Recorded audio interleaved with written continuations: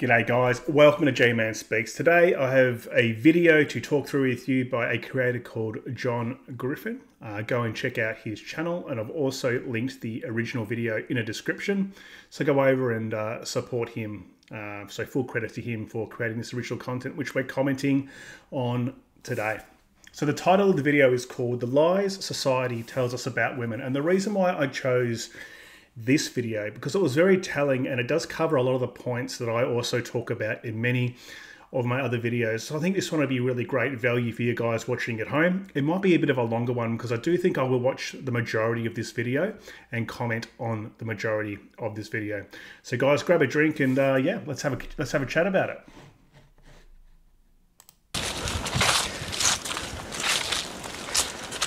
Someone's got to put a stop to it. This whole thing has just gotten out of hand.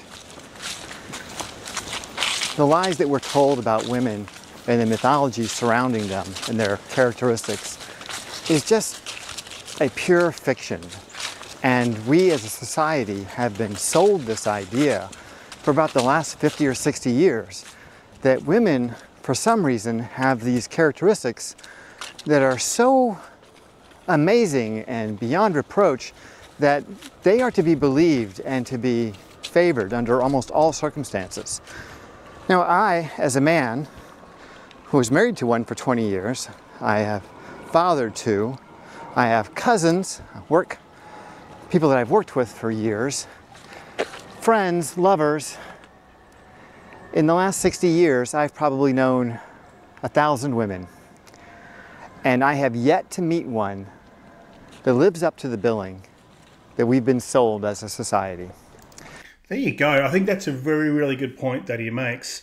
And I'll, I'll sort of rewind a little bit to the point that he was making uh, around the propaganda, I would call it, propaganda machine uh, that, that, has a real big sales pitch um, for women being sugar and spice and all things nice. Guys, as you know, and those of you who are new to the channel and don't know me, um, I have been married, divorced, just like John. I was only married a few years. I wasn't married 20. Um, so he's definitely earned his stripes, I can tell you that much. Uh, but I've womanized uh, my whole life, apart from being married and in a couple of long term relationships. My whole life, I'm almost 40 years old, I have womanized, and I can absolutely endorse this video that women are not sugar and spice and all things nice. I've seen the worst of them, and I've seen a lot of behaviors and common behaviors in a lot more women than what you would think do this sort of thing. That has just changed my view on the majority of women forever. Now, there are some outliers, but if I go back and think about all the different women I've ever gone out with, um, dated, put in the back of the VN Calais behind the cricket ground, you know, there's a lot. And it's not a brag, it's just a lot. Um, it's, you know, 15 odd solid years of doing that sort of stuff. There'll be two or three that I remember as being someone where I thought, yeah, I might have I might have fucked up there and, you know, not pursued that any further or not acted the right way or with the best intentions. Two or three out of thousands, as he said, um, thousands of uh, a thousand women he might have come into contact with. I've been in contact with thousands, talking, dating, uh, rooting them, whatever it is. I'm not saying I've rooted a thousand women. So today I'm going to give you my rant on why and what we've gotten wrong about women.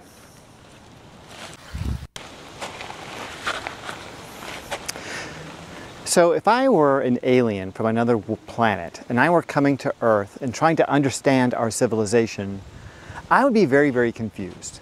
Because if I were to observe our modern media, our TV, our social media, our movies, our children's television programs, I would think that women are very clearly the superior gender, that they are a special class of people, and they just basically don't do any, any harm or any have any problems. So they don't create any, any discord in their lives. Yet, for some reason, in practice, is quite the opposite.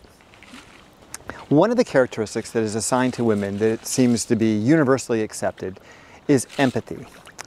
And I cannot think of a bigger lie than this one. And I think this one is so critical, that's why I put it first, is it's it's so um, misleading.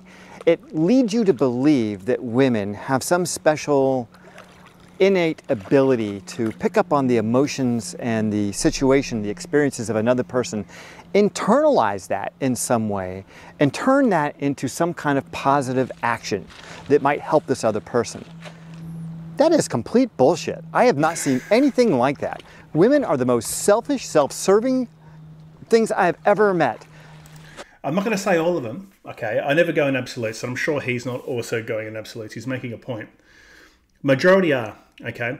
Guys, I'm sure a lot of you have found my content or guys who watch John's content. You've found that because it resonates with you because you've had similar experience to both of us, being that you've been uh, married or in long term relationships. You've gone through the whole cycle. You've seen what waits for you on the other side of that deal. Now, for guys who have been through it and have had a bad experience, which is the majority of men who go through divorces have a bad experience. And I know there are guys out there who will say, well, no, she was really good and you know, it was amicable and blah, blah, blah. I know it happens, but that's the minority. Think about how empathetic a woman is to you.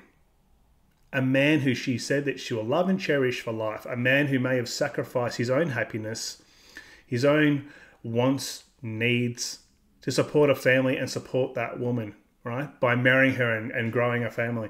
Think about how empathetic she is on the way out, okay? On the way out, these women turn from the woman you knew into a, a monster. They don't care about you. The thing about, and they're one of the biggest pills, and I, I, you should almost rename this video to the biggest red pills men learn. Okay?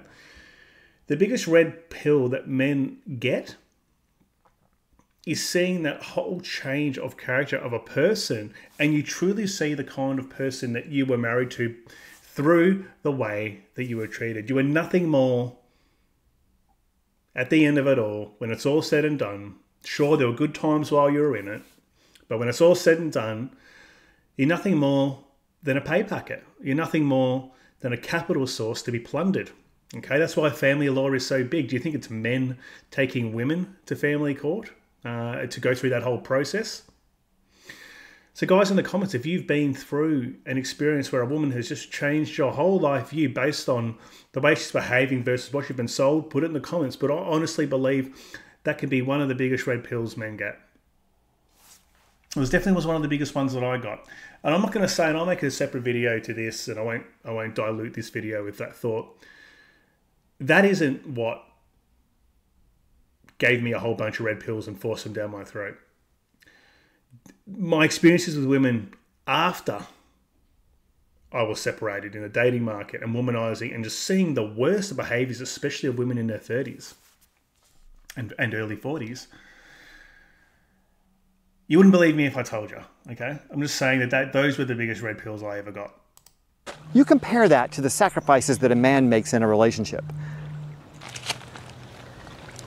A man will sacrifice everything for a woman he loves. He will sacrifice his life. He will even sit through episodes of The Bachelorette just to make you happy.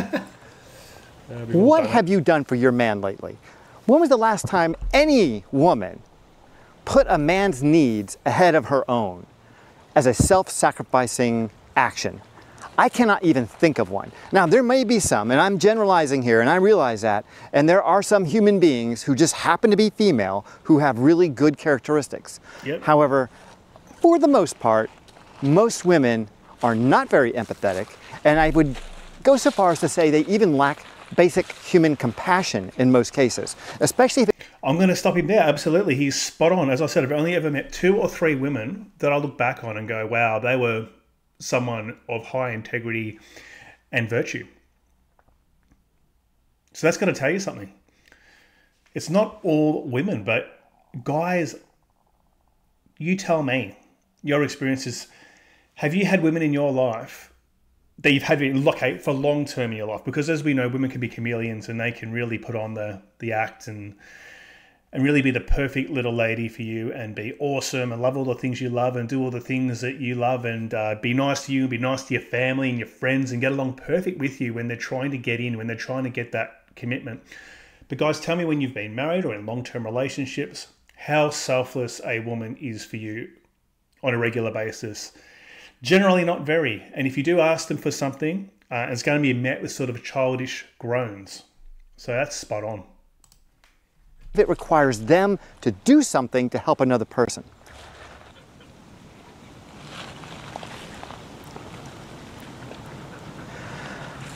Okay, let's move on to competence. Anytime you watch a sitcom these days, you're going to see the man in the show um, represented by some buffoon, someone who doesn't know what he's doing, makes a mess out of everything. The women in his show just have to put up with him. You know, the, the character is this uh, um, guy with two left feet and, and, half the intelligence of the average orangutan. And God bless those poor women in, in his life. They just have to come in and clean up after him and make everything right again. Nothing could be further from the truth. In fact, all of my experience has been exactly the opposite of that. Women screw up their lives like no one else could, and they're neurotic to an extreme. Yeah, absolutely. And it's not every woman. I know John's not saying it's every woman because I, guys, as I'll always say, I never operate in absolutes because that's where you lose an argument instantly. And that's feminine behavior is to say all things are this and all people are that, you know, all men are trash, rah, rah, rah. Okay. So it's good to have balance uh, and a balanced argument based on evidence. He makes a fantastic point here. I'm not going to go on about all the TV shows. Now, we all know that. We all know that, you know, you got uh, Homer Simpsons and all that sort of guys, and that's what men are, Barney Gumbles and shit like that. The point he makes about women having live. So, but to the to the front of the world, they they come out as so they'll have this perfect organized life. But we, especially, I'm going to talk from a perspective of a lot of women that I got to know uh, dating in my 30s. Their lives. It doesn't it doesn't matter how professional they are or how good a job they have or how well put together they look. The majority of their lives are absolute dumpster fires behind the scenes huge piles of debt, lifetimes of bad choices, dating traumas from spending too much time on dating apps, dating too many men. Uh, the, list goes on. Just really bad, horrible decisions. Um, Uh, one of the big ones that I noticed was women spending a whole bunch of time studying, you know, gender science or political studies or arts at university, and then having not having jobs that don't have anything to do with what they studied and being at almost entry level or just above entry level when they've spent $100,000 on a university degree. So just dumpster fires based on horrible experiences. They're the ones that need to be saved, not men. They're the ones that need. They're the ones on the dating apps looking for the guy to come in and, and be the superannuation policy, the insurance policy, uh, the safety net for a lifetime of horrible choices. Where they jump on, they want a guy who's got his stuff together. They want a guy who's got a mortgage and a house. They want a guy who's got everything locked down. Mr. Safe, Mr. Pay the bills. That's who these women are looking for. This guy is spot on. As a man, I cannot tell you how many messes I have cleaned up by a woman or women who have completely emoted themselves into a psychological shutdown where they have just can't do anything. They've just paralyzed themselves with fear and anxiety and um, incompetence. And sometimes even completing the most simple task ends up turning into a crisis of national level. You know, it's just ridiculous how that, incompetent they can be. Now, how there are things they can be good at. You know, if you need your sock drawer organized, you need a woman. There's no question about it. But if you need to get a mortgage financed, you don't want to talk to a woman. Nine times out of 10, she does not know what to do. If, you, if you've got a financial crisis on your hands, chances are a woman is not going to know what to do. Spot on. Like, once again, I'm going to try not to interject too much. It's just a bit, going to be a bit of a longer video, but he's just got some great points especially around finances. Most women, there are some women that are really great. I'm going to keep saying that. Majority, I'm going to say 95% of women are horrible with money. Okay, horrible with investing money, uh, horrible with managing money. It comes in one hand, right? You get paid on the whatever day, whatever day of the week or month, and they've already thought about it. Amazon packages, fucking you name it, come all the time. That was my experience a lot of the time. Women, whenever I hear a guy say, "Oh, I just hand my pay over to my wife and she manages the household," my stomach just twists. Women and money do not go together. Now, some men are horrible with money, absolutely, But for the most part, men have a burden on them to be good with money and manage money because there's no other option. No one's going to bail him out. No one's going to give him uh, a get out of jail free card if he fucks up. So the onus is on the man to generally think long term with his money and try and make the best decisions possible. And yeah, there are plenty of dickheads out there who waste it, but it'd be far less than what a woman Okay, I want to make another point, guys. If you've been married or have a long-term girlfriend and you've talked about making an investment, you might have wanted to buy some crypto five years ago or buy a house ten years ago, whatever it is, and you discussed it with your girlfriend, wife at the time. And guys were so, "Oh, fuck that." You have to. You're in. You're in a relationship, right? So it affects both of you, especially if you're covered by common law. You can't just go and do shit. The reaction most of the time isn't a growth mindset it isn't looking uh, blue sky and thinking about the possibilities of what can be. It generally is a reaction of fear. It's scared. Okay, the, the the safety net is at risk. You're putting money in something and it's not guaranteed to go up, and there's a chance it could go down or it could be wiped out. And there's a lot of fear. So, guys, if you resonate with that point when you've had discussions about finances or trying to explain a financial strategy to a woman and you just you just cannot get through, no matter how even simple it may be, put it in the comments. I'd love to hear it. All right, guys, I'm going to be about halfway through. If you're enjoying this video today, uh, please sub to the channel, aiming for 10k subs in the short term, so your support is greatly appreciated. And the best way to support me, guys, is to watch the videos through as long as possible. The watch time is what gets me pushed out to a wider audience. So once again, never going to bullshit you and say, oh, stay to the end for this awesome content or whatever. Just stick around as long as you can, or leave it running in the browser and mute me if you if you've you know had enough of my bullshit. That really helps me out. All right, let's get on with it. If you've got a medical crisis on your hands, chances are you're going to have to take control of that situation. If you've got a, uh, um, a, uh, a physical threat, yeah, women aren't going to be able to help you with that either. Um, your car breaks down. Women, no idea, completely clueless, don't even know how to ask the right questions. Um, let's see. Make, even making travel arrangements, my God, yeah. One time we showed up at the airport at 8 a.m. to take our, our flight down to Orlando or whatever to go on a Disney cruise. Yeah, we got there 12 hours early. Really? Yeah. Yeah. We, That's a great thing. That's a really good point. Now, in my experience, the girls that I've ever been in serious relationships with or married to, actually, they're very good at that. Um, logistical element of booking and scheduling trips and itineraries and that. So I can't really vouch for that, but I can understand the uh, the one point that he's getting across is um, the anxiety of getting to airports early. Every time I've gone on a trip, you've had to get there like three, four, five hours early, and you sit around in the lobby, um, or after you've checked in, you're sitting around for three or four hours on your phone or whatever it is when you could have maybe cut it a little bit closer. So that's one point I do resonate with. Our flight was booked for 8 p.m. Guess who did that? Mm-hmm thankfully the lady at the at the ticket counter was kind enough because she could see my wife was crying because we were all standing there with our suitcases 12 hours early and she put us on. So I'm going to skip ahead to sex. All right, let's get into sex. Sex is a great, great topic. The modern woman likes to believe that it is only fair and equal that she can be as promiscuous as a man. And this is such a brilliant one, okay? You guys it's like you don't even understand the way the world works. It's so funny. Um, so a man has to work for sex. That is spot on. And I've had a lot of women say to me, especially out on the dating apps over time and you get friendly with women, they say, Oh, only guys just want to have sex. I get with guys and it's really easy. All they do is they jump on the apps and they bang chicks and disappear. No, no, no, you're going for literally the top the top of the top guys who can pull that off and you're one of their victims. And so they see the male experience through the experience of getting pumped and dumped by a Chad or a Brycey. Not your average man who has to work hard like a little plankton, a little plankton at the bottom of the river, you know, getting some crumbs. Um, the ducks in the duck park, you know, and you throw the bread, the bread in, all right? They're all going for the same chick. They don't see that. They see the guy who's well put together, the one that all the girls want, slaying it, right? I've always found that very interesting, and I try to explain that and say, no, no, no, you're, you're seeing it from the perspective of a man who is a very unique person who can have all the girls chasing after him and crying, why is he playing up on them? If you've heard, if you've had that comment and you can resonate and back that up, put it in the comments. Women do not give sex freely to men all the time.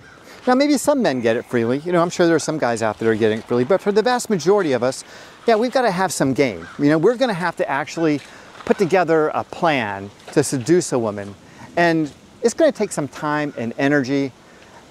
It's going to be hard. You know, it, it takes some it takes some effort. A woman just needs to say yes to any man.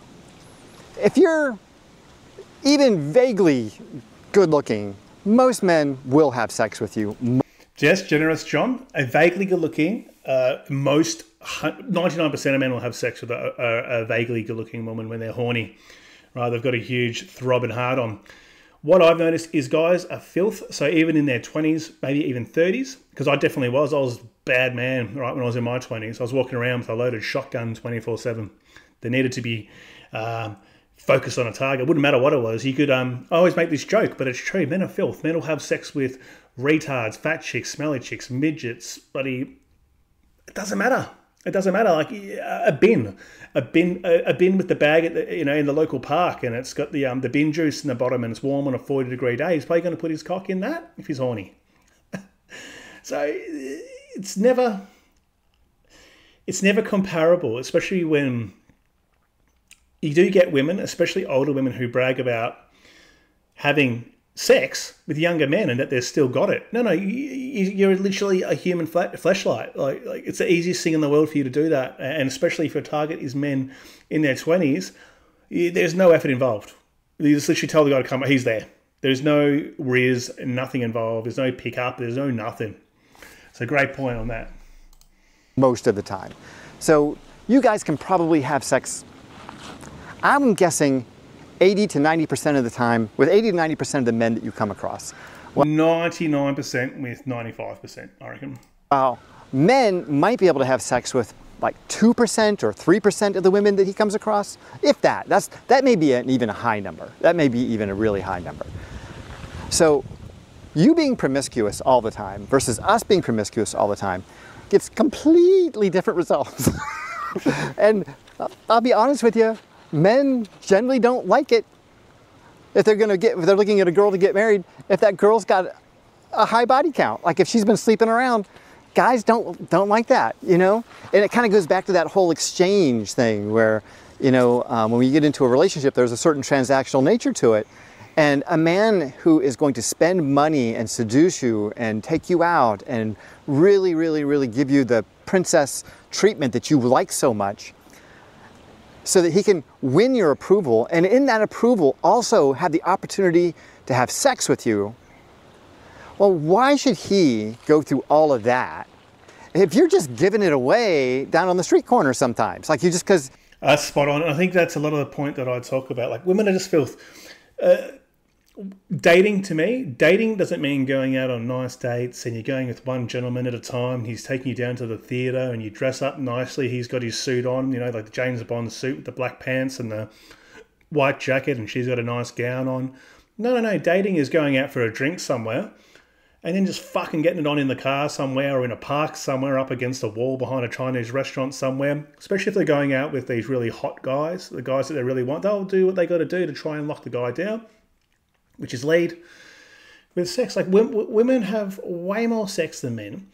Dating is fucking. That's what I call it. Dating is not this whole relationship thing when you say, oh, women, oh, yeah, I'm a dating expert. No, you're getting pumped in the back of the VN expert. Like, there's no expertise to dating for a woman. You've got to be there. Men do all the work, and they come up with these all these strategies and stuff. That's why I make a fun of all that stuff on my channel because it's just ridiculous. There's none of that effort is even required, and all the stuff that they say is bad. But when it comes to sex, what a lot of guys don't understand is even the girl that you've got a huge crush on, like most of the time, okay, if you okay, put, yourself in a scenario and you've had a real big crush on a woman and she's single, okay, and uh, she might work at the local uh, coffee shop where you get your coffee or the supermarket on the register, or whatever it is, where wherever you've seen a girl and you just started getting all gaga over her, you bet your bottom dollar she has been railed and been very slutty for another guy in the past. She's uh, in, in most of the time. Most of the time, I'm going to say all, but most of the time, I can tell you from I'm the guy who was doing that. they're not sugar and spice and all things nice. And I love trying to bang this point into people because I live the life that many men don't live and don't see. Yeah, some guys might give it a tilt and they give it a short tilt for a while and they bang a few chicks here and there and they get off the market, they get married or whatever it may be, they stop or, or whatever it may be. But I lived it for 15 years and I can tell you, even the most innocent, nice looking girls, they are the worst when it comes to that. But the thing is with women and men, men like to brag, especially young men like to brag about their conquest because it's a hard thing to do. They like to laugh, tell the boys a story, rah, rah, rah. Women hide it. Women actively hide it, play it down, cloak it. yeah, it's just, I could go on for days on this exact point. You're out with the girls, you make a big night of it, and you come home with some stranger. Yeah, guys don't want to be with you if that's your way of living. If you're having sex with um, with guys that you don't have relationships with, yeah, that's you, are a one night stand kind of girl, you're a hookup girl. Yeah, guys don't want to be with you. We just don't. We don't want to marry you. We don't want you in our lives. We don't even want to be around you. And in fact, we basically think you're disgusting, except that, like most men, we will have sex with you. We will we'll add to your body count but we will. Yeah, he's a monster hunter. Good old John. Good on you, John. But that makes a really good point. Men are going to be very um, non-discerning when it comes to who they have sex with, but more so. Look, I'm not going to say all guys. A lot of guys. Um, uh, get entrapped with women they should have no business doing because they're lonely or they don't understand the nature of women and believe everything that women tell them. But most men, yeah, they're going to add to a woman's body count, but they're never going to take them out. And you see a lot of these TikToks. Oh, he was good enough to have sex with me, but he won't be my boyfriend. Exactly right, because you're doing that with multiple men. Men aren't stupid, especially men who are able to have sex with women. They're a bit more mature, okay? Um, they get sex on the regular from women off dating apps. We know what goes on. We know what you're doing. You can't lie about it. And that's the one thing that puts men off dating women who have been around the block, especially early 30s, late 20s, even mid 20s and above if they're looking for something like a marriage or something serious. And that's why there's a rhetoric around trying to meet women uh, as early as possible to because there's least damage. Okay. Now I don't know how accurate that's going to be these days because you've got to think about women are generally pretty active even from high school years like out there you hear about it or you might have, you might have partaken in that stuff in your past so you know what goes on if you, you know you're, you're someone who can get girls especially at a young age they're, they're active from like teenage years through to 25. How many guys do you think that they've had unless they've had a boyfriend the whole time? Like minimum, minimum double digits. Okay. So I think that whole argument about getting them young and getting them to be a virgin very very rare these days because a lot of them have dating apps they've grown up with dating apps snapchat instagram like unlimited access to men I have no issue with it. Sluts are good. Like I'm not marrying anyone. I'm not marrying any of them. I have. I'm not judging. Do what you want. Like sex is good. Men need to have sex. Women need to have sex. Whatever. But there is definitely that is one double standard that I'll say of men is that we love to root them and bang them and bang them in the VN. But when they do that with too many guys, or we do that with them, then we don't want to get on with them. And it's an interesting uh, thing that's based in our genes. I really can't understand why it is it, it's more or less that they're tainted. It's like almost like rancid meat once you start to realize that. It's like a genetic thing. It's like you get a smell of death on them, okay? Not take you home to mom, just FYI. Not going home to mom, hmm. that's for hmm. sure. Caregiving. Now, it has been declared that women are really good at giving care. And in my experience, I, mean, I have seen some really good nurses out there, but I've also seen really good men nurses. Um, but then you're getting paid for that. So I think this is a really great video. I might stop it there so we don't go on for too long, guys. But he, he has quite a few really great points. If you want to see the full thing, I've got the link in the video description. Go over there, give him a view, give him a like, a comment, get him pushed out there as well. I think he's doing really good, genuine content. So uh, thanks, John, for this original content. See you guys in the next one. Cheers.